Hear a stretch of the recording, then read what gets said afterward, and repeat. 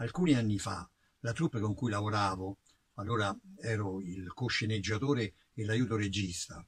questa troupe, noi giravamo in un lontano sperduto paesino della Sicilia, fu invitata a cena da un possidente locale, un, potremmo definirlo un anziano gentiluomo all'aspetto, eh, molto educato, molto gentile, molto sorridente, il quale ci offrì questa cena e ci ringraziò per essere dei cristiani educati. Termine che mi colpì particolarmente. Che voleva dire? No, voleva dire che noi ci eravamo presentati in questo paese e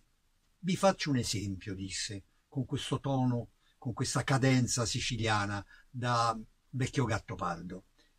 Se voi passate in una strada e trovate una casa con un bel giardino e il cancello è aperto e voi entrate e passate in questo giardino dove i fiori sono curati e poi arrivate alla porta di casa e la porta di questa casa è aperta e voi entrate e vedete che ci sono i mobili e ci sono le tende alle finestre e tutto è pulito e messo a posto. Voi che cosa fate? Chiedete il permesso perché la casa sarà sicuramente abitata da qualcuno. Ecco, voi siete venuti qui e avete chiesto il permesso. Io vi ringrazio vi invito a cena per dirvi che siamo felici di offrirvi la nostra ospitalità. Questo discorso, che sembrava un discorso particolarmente educato e diciamo così quasi di ospitalità, in realtà non era altro che il compenso perché la produzione quasi sicuramente, anzi ne sono certo sicuramente, aveva pagato un pizzo per poter girare. Infatti il volto di questo signore, dopo qualche anno io lo ritrovai su una pagina di giornale arrestato come uno dei capi della mafia. E da capo si era comportato e le sue minacce erano state sì forbite come nei romanzi da una patina di educazione, ma in realtà la sostanza era quella e infatti per questa ragione mi aveva impressionato. Ora vi racconto questa, questo piccolo aneddoto per dire che ho una conoscenza, diciamo così, di prima mano con la mafia, fortunatamente soltanto, diciamo così, folcloristica, però in realtà l'ho sfiorata, l'ho, diciamo così, ho potuto vedere uno dei suoi uomini in azione e mi ha quindi particolarmente colpito il film di Bellocchio, Il traditore, che proprio di mafia parla e parla di uno dei protagonisti della mafia che è Buscetta. Ora, il film è straordinario per la resa drammatica per la forza che riesce a comunicare attraverso questo personaggio, il quale racconta praticamente l'evoluzione della mafia da fatto da, da, una partenza, diciamo così, agricola ai suoi passaggi attraverso l'industrializzazione e poi il grande boom de, della droga. E lo racconta in maniera epica ma non gloriosa, lo racconta con una forza drammatica molto importante senza mai creare degli eroi, ma anzi facendo vedere come dietro la maschera di questi personaggi ci sia una tragicità umana e uno squallore che sono veramente esemplari. Cioè, voglio dire che a differenza di Gomorra, che esalta e che dà invece una specie di leggenda nera alla mafia o alla criminalità, alla delinquenza in generale o a certi film americani in cui praticamente i boss alla fine diventano quasi degli eroi o sono addirittura degli eroi, nel traditore noi vediamo anche la miseria, la meschinità, vediamo anche cioè le, la feccia umana che poi riesce proprio comportandosi in maniera disumana ad avere potere, ad avere forza, cioè forse ci fa capire questo, il confine con cui noi, diciamo così, società civile, siamo in grado di non essere così delinquenti perché non faremmo mai le cose che farebbero loro e di conseguenza ci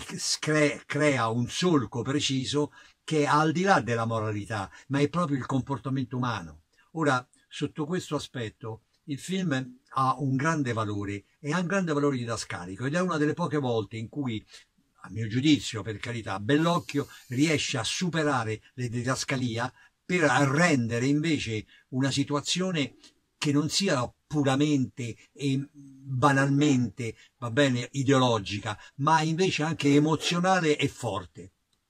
Il film è interpretato da un magnifico Pier Francesco Favino, che addirittura è ingrassato, credo, almeno di 8-9 kg per avere la presenza di questo, per dare la presenza di questo personaggio,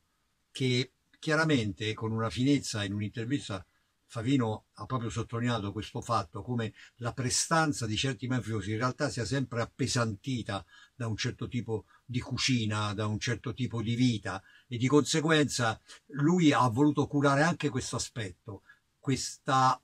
panza che in fondo c'è sempre, c'è sempre questo sapore nonostante i vestiti eleganti e nonostante l'internazionalità. Bene, questa è una finezza interpretativa che si apprezza particolarmente perché Buscetta nel film è anche questa presenza perché è un uomo affascinante, è un amatore, è qualcuno che tiene al suo aspetto e di conseguenza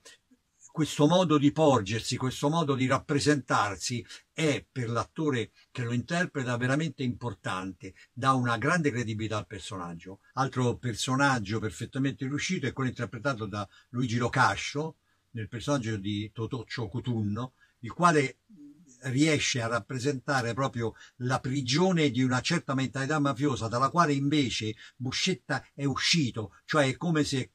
eh, questo personaggio fosse rimasto prigioniero proprio della dimensione agraria, della dimensione provinciale, della dimensione diciamo al massimo regionale, mentre invece Buscetta ha capito il valore dell'internazionalità è uscito al di fuori, quindi uno parla dialetto e l'altro invece parla, invece Buscetta parla le lingue, parla il portoghese, parla l'inglese, cioè si capisce immediatamente che è aperto a nuovi orizzonti, alla capacità di interloquire in vari modi e non solo in vari modi ma anche a vari livelli, tant'è vero che riesce a parlare con Falcone, riesce a denunciare la mafia, riesce a fare tutta una serie di cose come per primo, quindi a testimonianza della sua intelligenza e della sua preparazione. In ogni modo,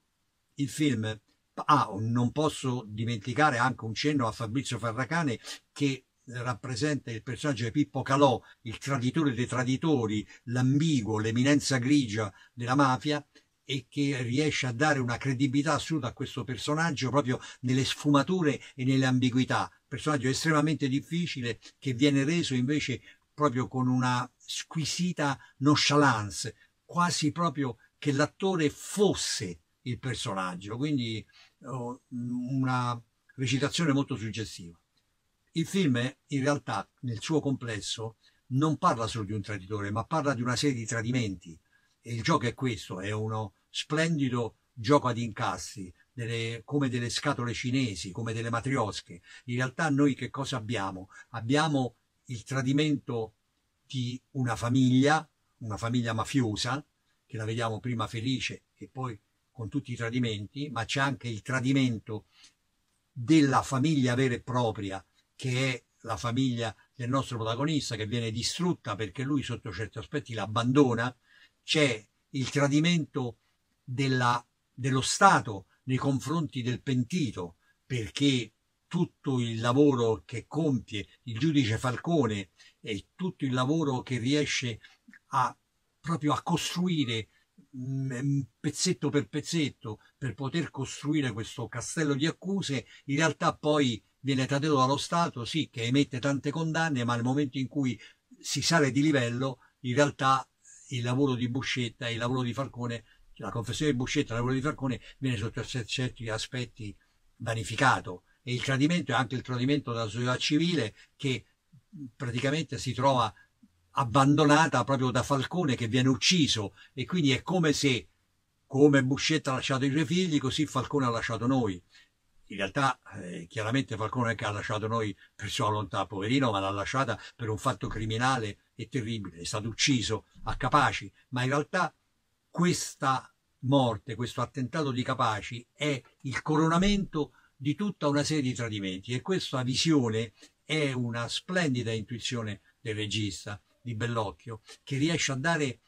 un completo quadro della situazione nella rappresentazione meravigliosa e teatrale del maxi processo dove in realtà noi assistiamo a quello